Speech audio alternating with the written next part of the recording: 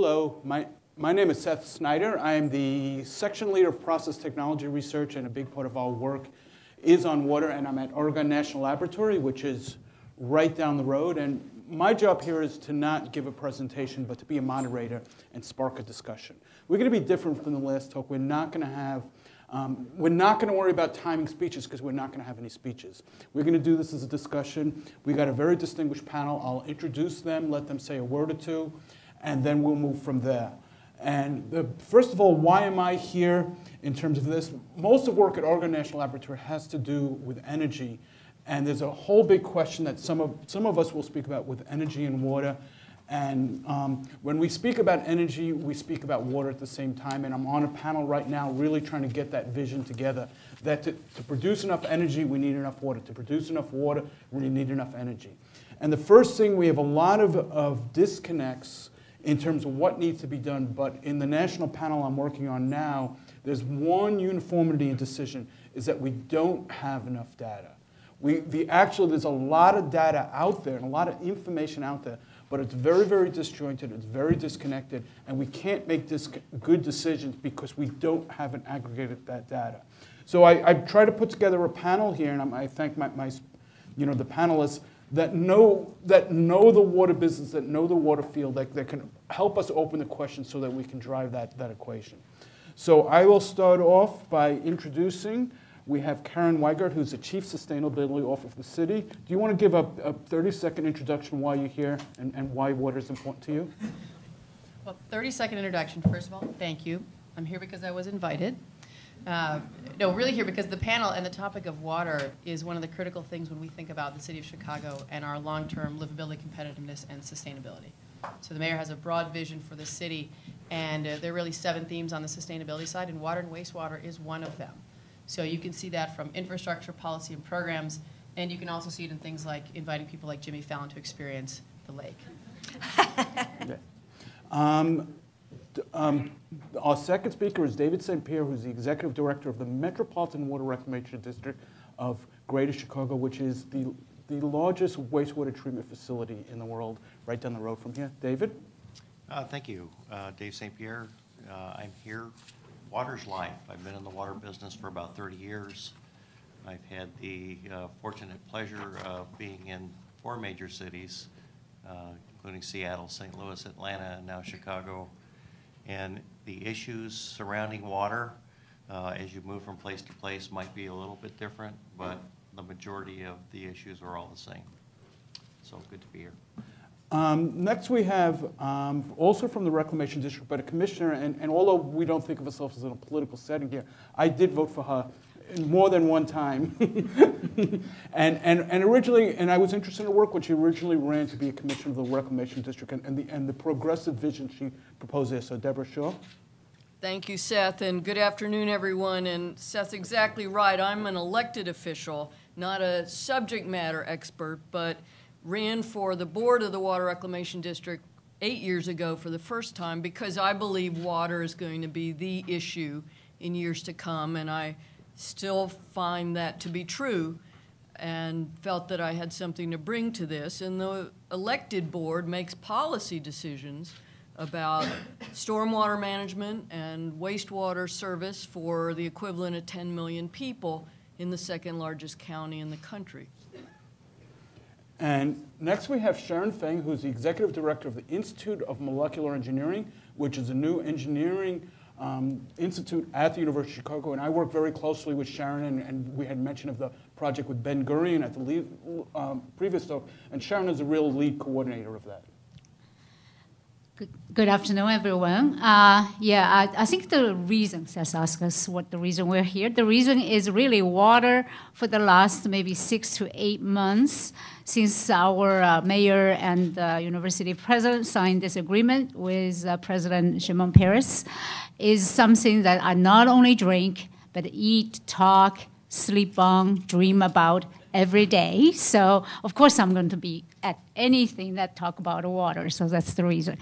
Um, really, I would. I'm very excited to be here to really have a time to share with everybody what kind of initiatives that's going on right now at the University of Chicago in partnership with Argonne National Lab with Gurion University, trying to really make some difference in this space that is really impactful and relevant to everybody's life. And finally, we have the, the person who actually worked the hardest to get here. Mary Ann Dickinson is the CEO and the president of the Alliance for Water Efficiency, a nonprofit, and she actually gave a talk in, in South Carolina, and her flights were canceled because of the weather on the East Coast. And she really worked hard to get here. And so she, it's been a very long morning for her so far. Thank you. Well, I didn't want to miss this this mm-hmm. session. This is a great panel. Sustainable water. I'm like Sharon. You know, I live, breathe, and think sustainable water. Um, I represent the Alliance for Water Efficiency, which is a North American nonprofit whose mission statement says we're dedicated to the efficient and sustainable use of water. And we are actually international. We have extended beyond US and Canada, where we originally uh, formed, to look at the issues surrounding sustainable water use. And they do include the connection between water and energy. We spend a lot of time with the drinking water utility industry, and that has its challenges, and we'll talk about some of that because I think the perceptions that uh, the drinking water industry as a nation uh, live with are sometimes barriers to thinking more creatively about how to use water sustainably in the future. Okay, so I had some discussion points, and this is going to be an open discussion, and then we'll leave time and we'll have discussion with the audience too. So first of all, since you actually did stay up the night for this, um, what keeps you up at night in terms of water? okay, what keeps me up at night? Um, there, there are kind of four things, and I, I, thought about this in the question that he asked. Um, and, and, yes, we want to make sure that sustainability is something that we think about, uh, you know, on a regular operational basis. But as we want to grow, as we want our economies to grow, as we want uh, all of our businesses to thrive and our communities to thrive, we have to make sure that we are not increasing the footprint of our water and energy use to the extent that that's not sustainable. So that's kind of the envelope of the crisis. Um, but in that envelope is making sure we, we, maintain the safety, the quality of the water supplies, and the quality of the treatment, engaging the customer and understanding what that means. And that's turned out to be a massive management challenge, getting the customer to understand what goes into delivering the safest, most affordable drinking water in the world to their doorstep. And that's a consuming passion of ours, uh, trying to get the consumer to think about reducing their water waste or to, to think about helping their community to grow productively. Um, and then the last crisis that I think about at night is, and then how do we pay for it all? Um, the big water efficiency conundrum is as you use less water, you sell less water. And you sell less water, you can't meet your fixed costs. And it all becomes this vicious cycle that we have to break. So it's those things that basically keep me up at night. Uh, in support of that, some of the work that, that, I'm doing, I was having a discussion with some students at Northwestern this morning, is that there's a fundamental in an urban system of, of, of thought that water should be free. Right. And it should be less than free on the water treatment side. And so we have an expectation of a high quality water because as, as human beings we have that deserve that right. And, and so at, there's a strong belief that water should be free, but that we know to meet sustainability requirements, it, it can't be free. There is a cost for delivering a sustainable water system. And on the back end, um, treating water, nobody ever wants to pay for. And so we have actually an expert who's getting close to seven figures in terms of the number of people serves how do we, how do we deal with a question, and what keeps you up at night that, that you're basically, for millions of people, dealing with a wastewater treatment and nobody wants to pay for it? Well, actually, in Chicago, we have a pretty good funding mechanism for water, uh, and are one of the fortunate utilities that we actually uh, can afford a, a, very good capital program. Uh, but the issue of value of water is, is a significant issue uh, throughout the country and in this area as well. And it's not just water, it doesn't stop there. You know, the environment, uh, we have this idea that the environment should be free the air we breathe, the water we drink, uh, the uh, multiple, multiple benefits that we receive from the environment, that basically they should be free. And um, I think that maybe in the 1800s when there was a billion people on the planet, uh, that might have been a paradigm that could work. Uh, We are uh, over 7 billion people on this uh, small planet now, and we just have to change our thinking. The environment's not free. It's something that we need to preserve and we need to invest in. And along those lines, Deborah, I see you all, you speak into the community all the time. What are the questions people ask you, and how do you, how do you talk about the service that, that is provided?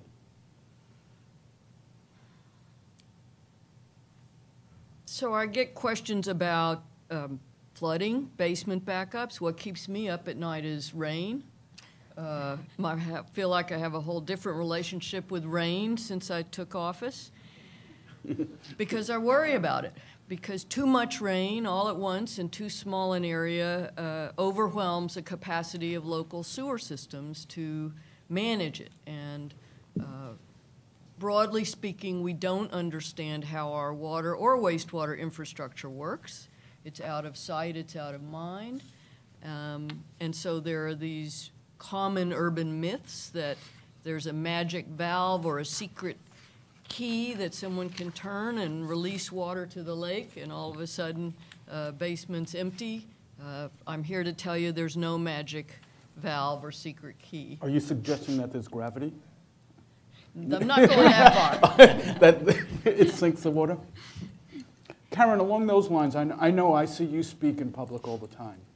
Um, what, what, is the, what is the interface between the city and the residents in terms of dealing with water? Yeah, I think we hear a lot of the questions that Deborah was mentioning. If you're a resident, you experience water in very different ways. You, you experience the expectation of reliability, that water will arrive and water will leave, and you experience the unexpected water that is suddenly in your basement and on your street. And so I think there's a very acute pain point around flooding in Chicago. And certainly then there's this great expectation of ongoing, reliable, wonderful performance. And we have you know, extraordinarily good drinking water, and it is, uh, quite honestly, very inexpensive when you think about a resource that's available. So those are sort of the very personal day-to-day interactions, but we also have to think about it in a broader context here in Chicago, where our residents have grown up next to one of the most amazing natural resources in the world, which is Lake Michigan. And so we have an opportunity to really think about that as framing our conversation and framing both conservation and then treatment, because it does come right there from the lake, and you can actually go and see it and experience it. So some of the ways where we also think about that, that resident experience is expanding their relationship with water. So we have 26 miles of free public lakefront, 24 free beaches, but we're also expanding opportunities to engage with the river. So adding boathouses, building the river walk downtown, really making that piece of nature that, you know, that David was talking about part of your experience, part of the ongoing historic value proposition of Chicago, which then can lead you know, very clearly to a more nuanced understanding of the water that comes into your home, leaves your home, and sometimes unexpectedly is in your basement. Sharon, along these lines, you're part of this whole creation of, of the Institute with the University of Chicago and Ben Gurion University for Advancing Water Technologies. Um, wh- what, where do you see that going? Yeah, so it seems like everybody's up all night. Uh, actually, uh, what really keep me up uh, is really realizing how the enormity uh, of the challenge as well as the opportunities. That really is something nobody, no institution, no one city or even one country could really develop a solution to meet this challenge alone. So it brings on the really the necessity of the partnership. So partially, uh, University of Chicago, uh, always in partnership with Argonne, realized uh, this is a bigger problem uh, that really brings needs all the hands-on deck, so to speak, to solve. Uh, so we started searching for partners in, in this space. What's really interesting is you think of the University of Chicago, who resides on the Lake of Michigan, which is 20% of the world's fresh water source, and get together with Ben Gurion University, which is in the middle of the desert of Negev, which has no water whatsoever. Uh, it is really that two extremes of needs actually coming together with the brain power and the willpower, wanted to do something about the water, even though we're attacking the problem from two very different opposite ends. I think it really generates a lot of uh, electricity and uh, uh, momentum in this partnership. But also, I think what also motivated in uh, last year, we have uh, a group of 15 um, Seth was part of it, uh, myself. 15 scientists from University of Chicago and Argonne go all the way to Israel to meet our Israel counterparts and have a workshop in this area. What motivates us is this one quote, actually, to myself, is a quote actually said by a venture capitalist in. Uh, in San Francisco, talked about this uh, water problem not only being the million dollar opportunity, which is, you know, depending on how you put the values on these things, but also it is a space where he terms as the biggest mismatch of a screaming enormous market of need and the lack of innovation. So basically, um, he's talking about today, we're still uh, using some of the 19th century filtration technologies, trying to get rid of all the emerging contaminants that generated in 21st century. So there is certainly a technology a mismatch and a gap there that needs to be closed in. And uh, the innovators out there, actually by counts of millions, uh, wanted to bring these new technology into this marketplace, but why it's so difficult? So I think that's some of the questions, maybe some of the regulators, some of the policymakers, uh, our, our end users of a city uh, can really bring to the light to say what takes for moving these uh, scientific discoveries, inventions that could make difference in bring more cleaner, cheaper water, accessible water to the society. So that's actually a, more than a scientific challenge, I think, to us. Mary Ann, um, where, where, do we need, I think you're the most cognizant in terms of technology, where technology is moving forward. Where, where should we be investing in technology for water management, water technology, and what are the gaps in, in data that we still have to think about? Okay, before I answer your question, I'd like I- to actually comment on something Sharon just said, because what she said, it leads into the answer to your question. And that is that you can have all kinds of innovation, technological innovation, but if you don't have uptake by the clients, if you don't have a market that's created that actually is funding the use of that innovation, uh, you create what's called in the inventor's world a valley of death where the inventor provides the, the new technology and, and the, the, invention and can't sell it. And by the time he sells it, he's out of business, unless he makes it through the valley of death, and then finally there's a tipping point and there's uptake. And the problem is that the, water utility industry, and I'll speak for the drinking water side, um, because we, we work with them all across the country, they're fundamentally a very conservative group. Um, it's about me second, not me first. Let someone else pilot it let me see someone else do this first and then I'll consider investing because I've got ratepayer money and you know I want to invest my ratepayer money wisely so I don't want to take a risk that might not turn out well. So they're very risk averse. And you can't be risk averse and test new technology. So in the field of water efficiency, there's lots of wonderful opportunity for technologies, but they will cost money.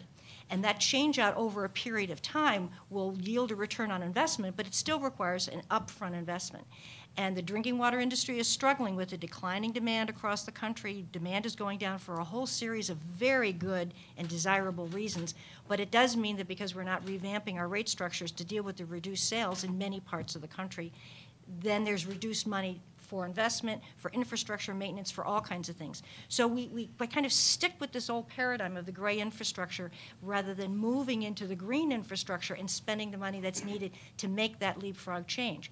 So to give you an example of technology, in energy you've got two-way smart meters two-way. When I say two-way, I mean that the customer's data is read by the energy utility, but the energy utility has the opportunity to manage the customer's use at that point. So the customer can sign up for a reduced rate if their air conditioning can be shut off during a, a particularly critical peak period. There's no such thing like that in water. Smart meters in water are one way only, and they are not management tools. And furthermore, in water, there's no time of day billing. All of these are not radical new concepts, but it takes such a long time in the water industry for change to happen that smart meters, would, you would think, would be really prevalent being installed everywhere. It's taking a long time. So all of the, the sensor technology that could help improve water quality, all of the efficiency technology, you know, in terms of point of uh, end-use consumption, all of that would require investment on the part of the drinking water utility, who now claims they don't have the, the capital funds to make those kinds of investments. So what does the inventor do? Actually, that is a big gap. Uh, there's a number of folks from Argonne here. That's a gap we all experience who work on technology. I'm going to push that to two people, to Karen and to Deborah.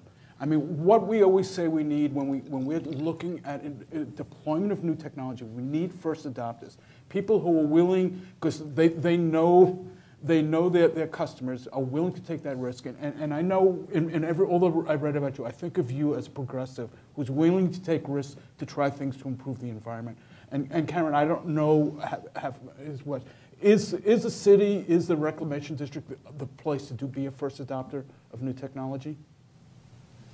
I think they're both great places to think about this, and I think you know some of the context is really interesting because uh, uh, it's interesting as, as some of the talking was happening, there was a slide about increases in global water demand. But if you look in the city of Chicago, per capita water demand is down by something like 40% since mm-hmm. 1990. So you're seeing very different things around the globe, and that's you know in, increases in efficiency in Yes. shower heads and toilets and everything. So you're seeing a very different structure. Now, in terms of innovation, technology is one piece, business model is another, and simply thinking about rate structure layers into that. So the city of Chicago actually raised water rates. So we know we have to have a very significant capital plan to ensure that our aging infrastructure is able to meet the demand that is here. So we're replacing 900 miles of water mains to deliver this great drinking water to homes. So we think we did 75 miles last year. That's more than double what any other city is doing. So simply thinking about how can we create the economics to allow for the infrastructure that we need is a core foundation of this. We then have to think about how do you layer on top of that the kinds of technologies that will give us the information and innovation to build upon. But if you're building it on an infrastructure that's 100 years old and leaking, you've got a very different challenge. So we are building up and shoring up that infrastructure that we can layer on top of that some of the innovations that are to come. I've been thinking, Seth, about some of the questions you posed in the intersection of data and behavior. One of the issues we're seeing in stormwater, uh, as I mentioned earlier, local sewer systems, which are owned and maintained by each municipality, have a limited capacity. And when, certainly in the combined sewer areas, when the pipes fill up, they'll either back up into our basements or overflow directly into a river or stream. We know that if we can ask or tell people that a big rainstorm is coming, not to use their washing machine, not to use their dishwasher, perhaps delay taking a shower, will reduce the amount of load on that municipal sewer system and perhaps give it additional capacity to manage a rainstorm.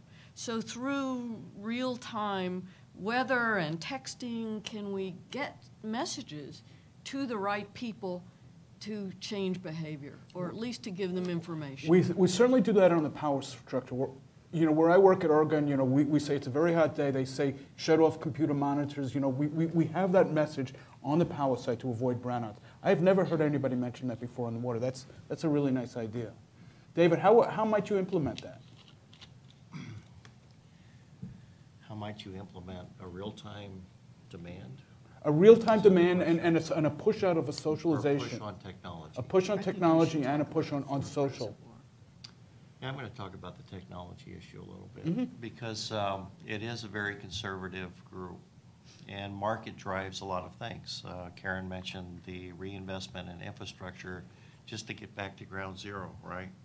And that's huge across the country. So um, utilities, as they were created, whether they're drinking water utilities or wastewater utilities, are separate entities. There's, I believe, what's the number, 40,000?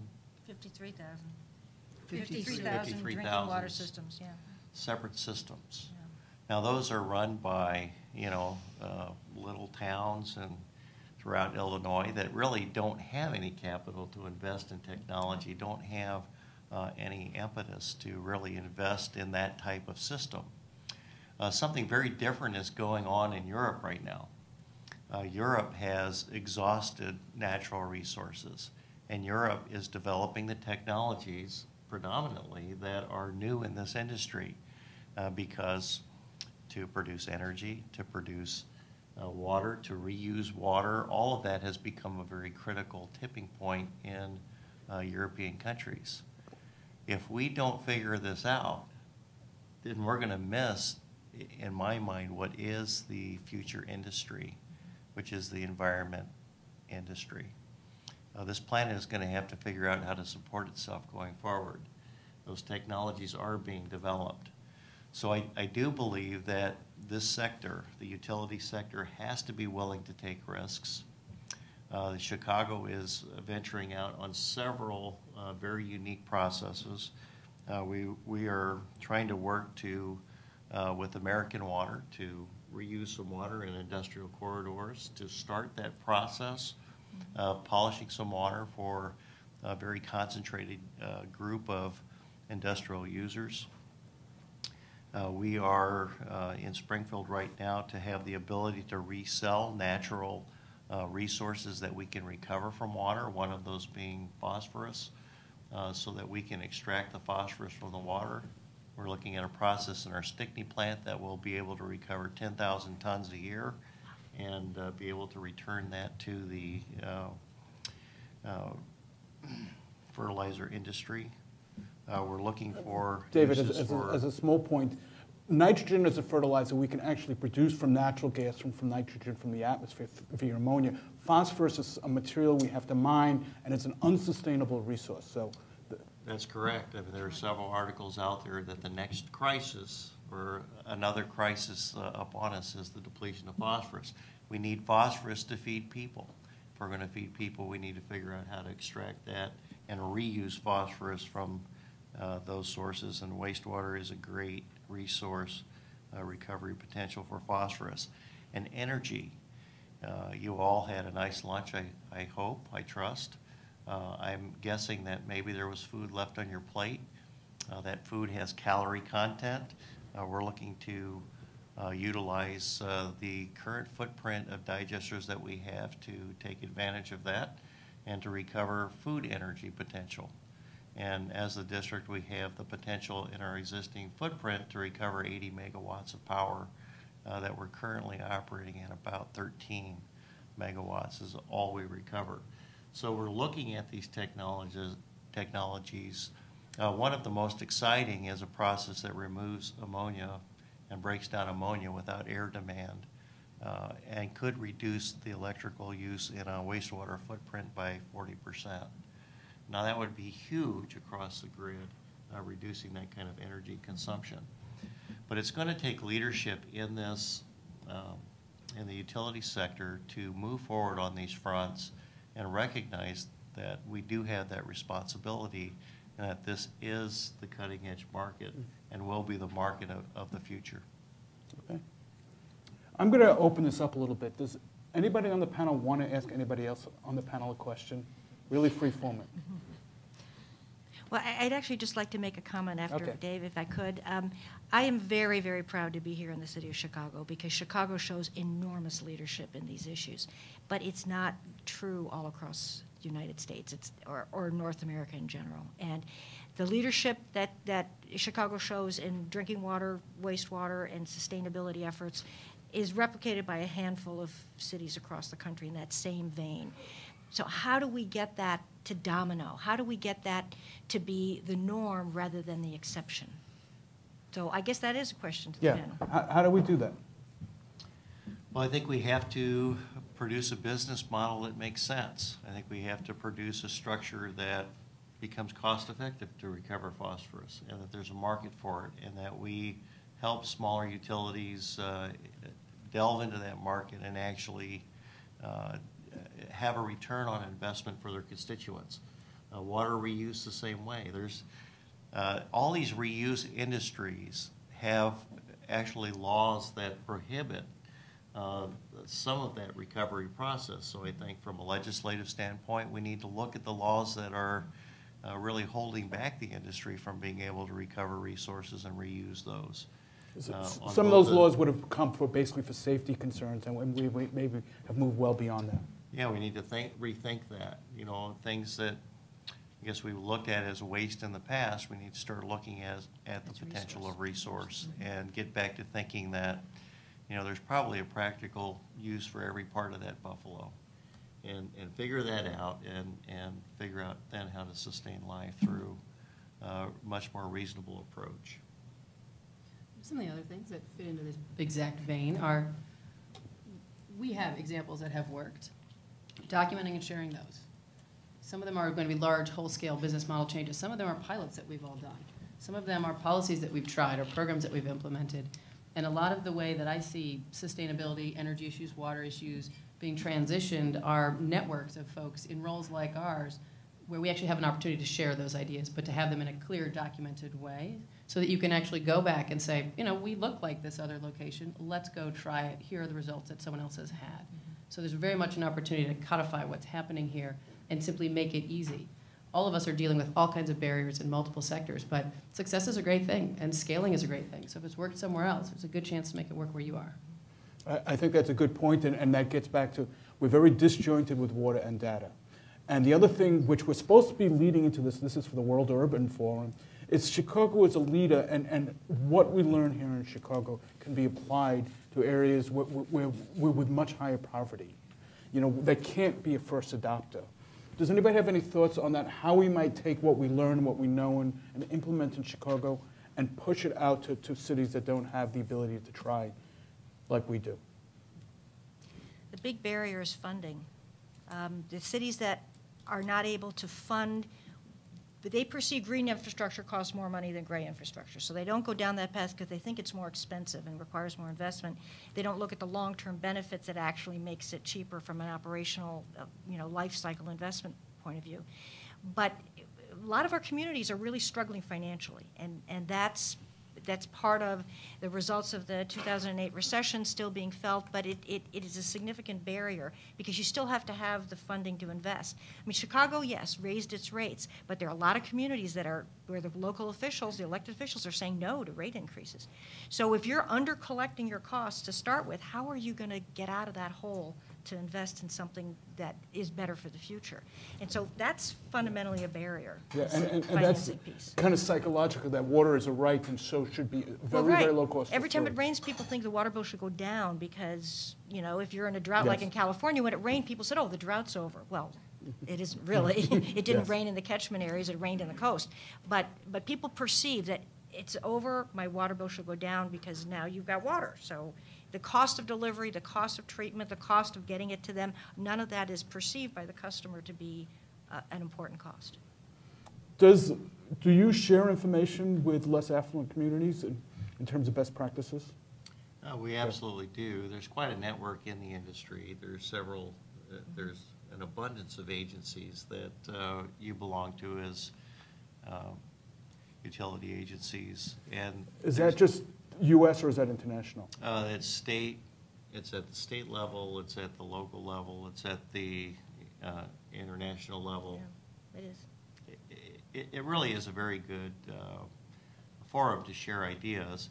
It doesn't overcome uh, uh, the issue of this product desert and not having finances to um, support the use of those products. So I'm just going to throw out a wild thought here. Why not? You know, that's what we're here for, right? Uh, But it seems to me if the environment has a value, we need to rethink how we do this. Um, Utilities have a very marked mission. Be very difficult for uh, the city of Chicago to be investing in uh, some kind of technology that does some wild thing when they have 75 miles of pipe a year that they need to uh, address within a, a water delivery system. Um, and there's, and there's other issues that we're facing. So we've got nutrient runoff issues in the state. We've got a, a very large farm uh, industry in the state. And uh, we need food and they need to produce food, but we also need to, to reduce nutrient runoff. We need nutrient controls in some point source plants. Uh, we have micro constituents that are going to follow that, but we really don't have, you know, since we have, how, many did you say, 52,000? whatever, uh, forty thousand is the number I'm used to hearing, but we have all these disconnected agencies taking care of or trying to take care of the environment in a nineteen seventy-two paradigm. How do we change the paradigm? How do we change that thought? The environment has a value, why don't we have a utility responsible for that environment? If you're gonna pay hundred dollars for cable in your home, why wouldn't you pay hundred dollars a month for the environment? we need industry in this country. The future industry in this country needs to be environmental. And if we're not going to put the money into that market that can drive the technology and the innovation, we can create a market, I believe, around the environment. Now, there's a wild thought for you. Oh, I, I, I strongly support that. Um, if you think about it in terms of, of cities, population is not limited by the amount of land because we've learned to go vertical, but it's limited by, by water availability. But in support of that, I, I tend to stick out my neck. I'm, so I'm on this panel for Department of Energy, and I said, what they said is, is my goal, and I said is to rename it the Department of Energy and Water. Yes. And I almost had my head chopped off. Oh. so, and I think it's a great idea. I and love so it. you, you speak to Ron and others about that. We, we have a, a mutual colleague. That, that it's something that, that we have to think about. It. It's, it's, a, it's a commodity that basically defines how productive we can be as, as human beings. And, and so that's, that's really wh- why I am here. But I think you're very right, and there's a value on the environment, and I think that's why you know, you've been successful in your role. Um, one of the challenges here is that we're at the home of Milton Friedman at University of Chicago, who, who basically puts that all as an externality. And it's basically what you're saying, we have to pay for our own externalities. And, and that's a difference in, in, in a drinking water where people have an high expectations. So if you look at societies, um, the first thing people will demand is a high quality drinking water as society develops. But it's the last thing they think about is, is the cost and, and managing the waste efficiently. As society advances, you know, we'll see that we want a better quality environment. But that comes secondary and the infrastructure on one end, you know, lags the other. And so it's, it is a challenge. And I don't, I don't have the answer yet. You know, I think eventually it's Department of Energy and Water, but I don't know that will necessarily happen. You know, in, in, I suggested it happen in five years, but I don't think it will happen then. Uh, maybe this is a good point to come, come back to the theme of this uh, afternoon's is being informed city. The data, uh, also best practice is part of the data, can really help push the needles, in my opinion. And I come back to the partnerships with uh, Gurion, and uh, you know, of all the partners we can pick around the globe, why do we pick Ben Gurion? Israel actually figured out how to really solve this problem. I was very surprised to find out when I was there in Tel Aviv in October that they use 80% of their Blackish water for agricultural irrigation. And anybody can guess what the U.S. ratio, rate is? Less than five. Well, actually, it's a little encouraging. It's like, you know, less than five. I think that's what I was given. They don't want to go how much lower. So they did it because, of course, the necessity. They just don't have abundance of water, but they certainly had a technology that can do it. They had economics. You know, they're not go broke just by going doing that. So how do we borrow those best practices and how do we share those best practices?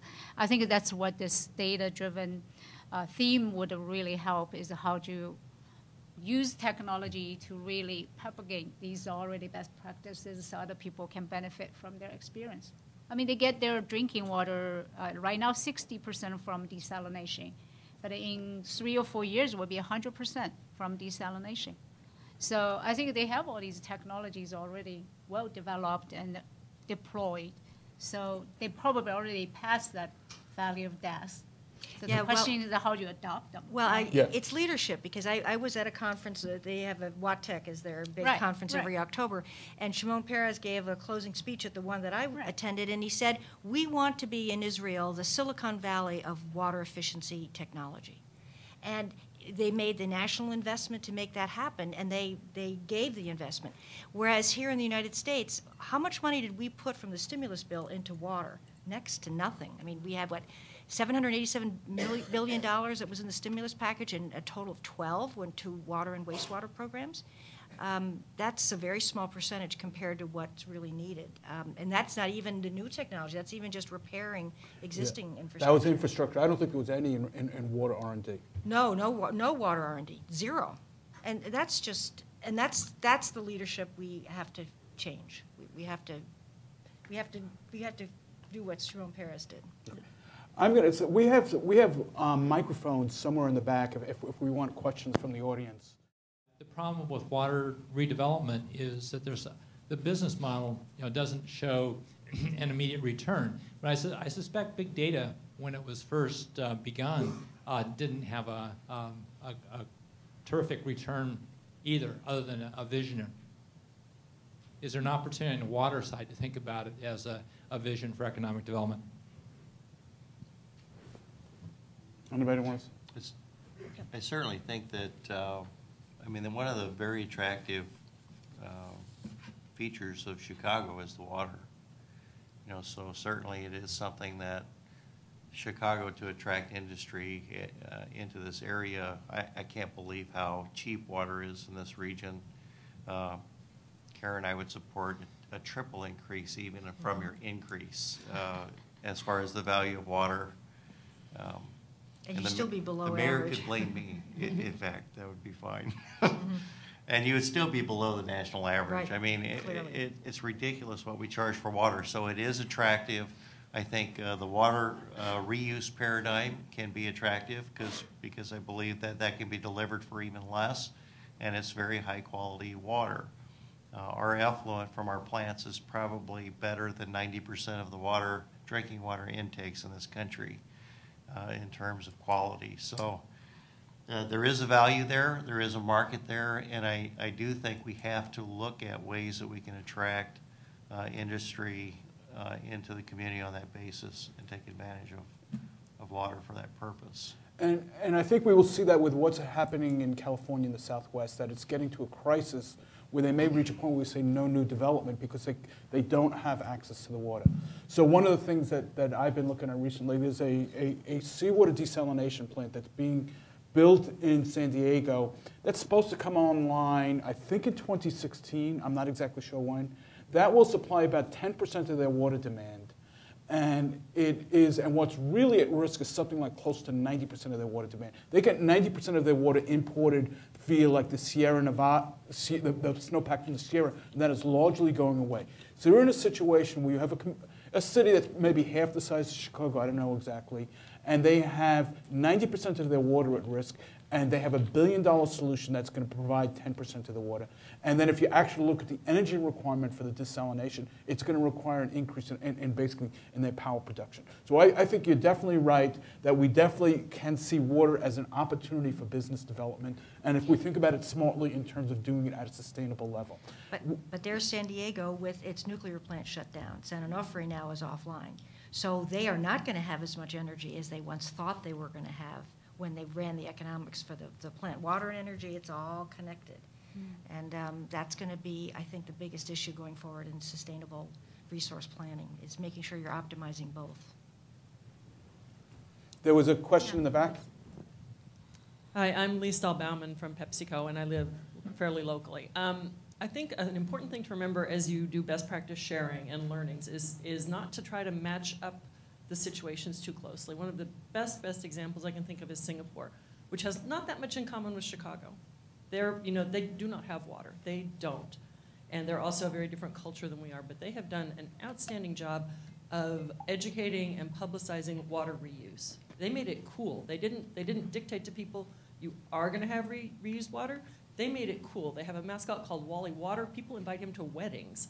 I am not making that up. That's true. So I think I think that it's always good to to take what to glean what you can, what lessons you can, without worrying that their situa- a different situation is not quite the same as one's own situation. S- Since I know these, can, can I ask you a question in, in reverse? Do- I, I've heard Coca-Cola discuss this. Do you place pans, do you place your PepsiCo plants based on water availability? So interestingly, right now, this this very first quarter of this year, I am going back and forth to India once a month to look at doing that. We've not historically done it everywhere, but we're getting smarter about it. And and India is a very prime example of not enough water. So we're we're learning how to do that better than we have. I think I think before it hasn't been a policy. I think it's been done in certain cases, and I've not been with the company long enough at all to have a, a, an in-depth history. But I can say that we are absolutely looking at that when we look at, at, at growing. And India is one of our big growth markets. Other questions?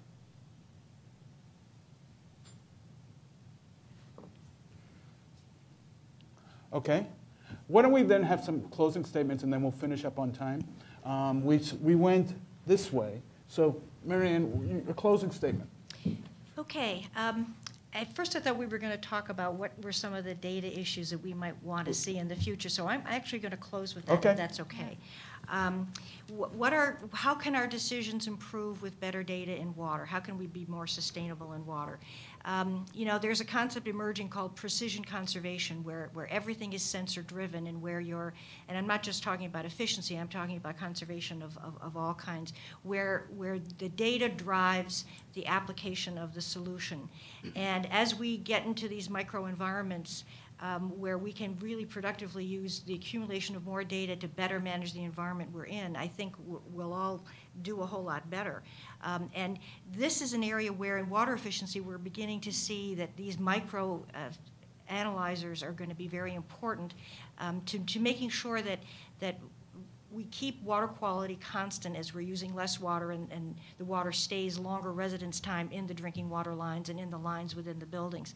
As we do a lot of green building, we're finding that the water is sitting in the pipes for, for long periods of time, and Legionella is, is starting to emerge as probably a, a, the largest public health issue in the drinking water industry. We've taken care of everything else, and now Legionella is sort of surfacing as this new issue to worry about.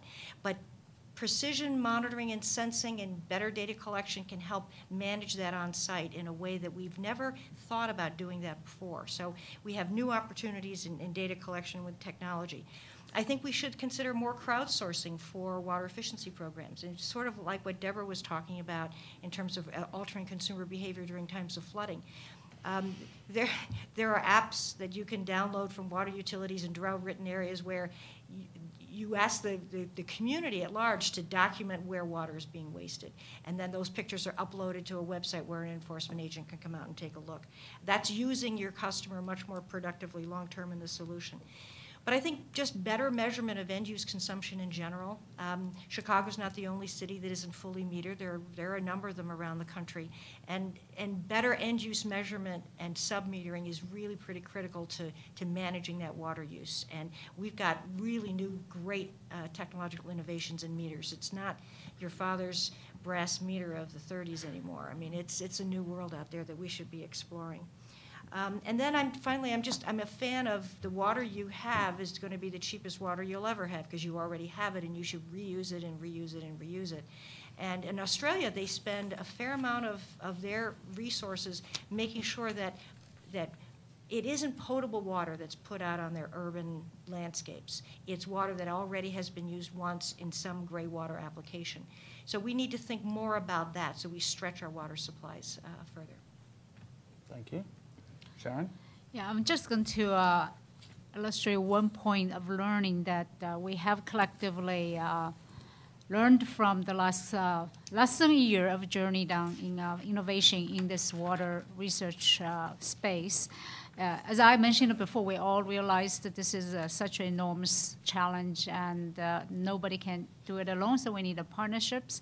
But we also since realized, uh, speaking as a true scientist, that the science is not the, the only solution to this problem. So we have since uh, started really reaching out to build a truly uh, multilateral, holistic uh, research innovation community that involves not only just science, also the policymakers, the behavior science, urban design. So uh, I wanted to do a little advertisements for Chicago. Really is University of Chicago. Lucky for us, we found actually on our campus that, that there are almost every disciplines were mentioned. That there are people actually doing research in this area, working in this area in partner with city, with Clean Energy Trust. So we have an ecosystem here, actually, kind of inherited right here to really make differences together. So it's now, it's a learning for scientists say, you know, technology cannot accomplish this alone. We really needed to really work together with everybody else. And I hope this is also a message can be sort of broadcasted to everywhere else in the world is the same thing, that we can all work on this together. Thank you. Well, Sharon, I'm glad to hear you say that because I wanted to make a plea for humility. Um, I was fortunate enough to spend several weeks at the Kennedy School of Government a few years ago in a program for um, senior officials in state and local government, and there they made a big distinction between technical solutions and adaptive change, or what I would call changing the culture. And yes, we can find technical solutions, but Uh, I mean, the Deepwater Horizon oil rig in the Gulf of Mexico was a technical solution to our uh, unquenchable thirst for oil. The adaptive change is to learn to live uh, using less oil. I personally am very concerned about the rush to desalination. It's a technical solution. We can turn salt water into fresh water, but I don't think we know enough yet about the long term effects on the ecosystem of dispersing this highly toxic brine, the residue of the process, back into the ocean in a much more concentrated form than exists in nature. It's been said that all problems started out as solutions. we reversed a river. And water is the ultimate solvent. there you go. Water's the ultimate solvent. So that's your solution. Um, we can engineer our way out of almost anything. The question is, should we? And so I, I make a plea for humility in uh, scanning the landscape as we search for those solutions. David? Well, I think we live in an exciting time. I think we have a lot of opportunity. I think we live in a country that has the ability to uh, develop technology and solve really any problem. Uh, we are part of an industry in water that is not well funded, uh, that has some significant challenges but has also on the other side of that some very exciting opportunities. Uh, I think this landscape is going to change significantly with the current uh, utility leadership in this, uh, in this present time significantly over the next five years. And uh, there's uh, just a lot of exciting things that's going to happen. Stay plugged in and stay tuned. I get to do the close. How good is that? Mm-hmm. So first of all, thank you all for really having this dialogue and being a part of it here in Chicago. It's a it's a global challenge. There are tremendous local opportunities, and many local opportunities apply in multiple locations. So this is just an example of a lot of that. The, the fact that we've got people on this panel who are working nationally and internationally, that we've got partnerships that are spanning the globe as we think about water, those are the kinds of things we're going to need to really tackle and continue to innovate. But we're also going to need to do the real blocking and tackling of existing infrastructure in cities. And then we have to layer on that an ongoing engagement and awareness of what water is and what other natural resources really are. And as I think about that, some of the things that are changing for all of us haven't come up as much, and that is the climate is changing, which means weather data is changing, which means all the information that helps us predict how much water is going to land on our streets, how much we're going to have to process, how much isn't going to land in other parts of the country depending on storm events and drought that actually changes the data environment. And so as we all look to make good, rational, fact-based decisions, understanding what those facts are is really going to matter. And that's quite honestly a global story for all of us. But it'll come down to real leadership, real solutions, practical ideas that we can test, scale, and deliver so that we can continue to have really interesting conversations about solutions as we go forward. So thank you. Well, I, this was a wonderful panel. I went much further than I thought. I'm very, very proud to be part of it. Um, if, by the way, if we did this panel and we had people from just say the energy industry which are interested in thermoelectric cooling, we would have a completely different discussion. If we had this uh, a panel of farmers talking about water, it would have sounded very, very different. And that's one of the challenges of water. It's the same commodity, but everybody thinks about it differently. And hopefully, when we think about it from a data standpoint, we can take it to a next level. That's not going to happen in 2014, but I think we need to start the process. And it may take a decade or more. But we were thinking about urban systems, so we got what we thought was the best in class for looking at it from an urban standpoint. Let's thank our panel, and I thank you for listening.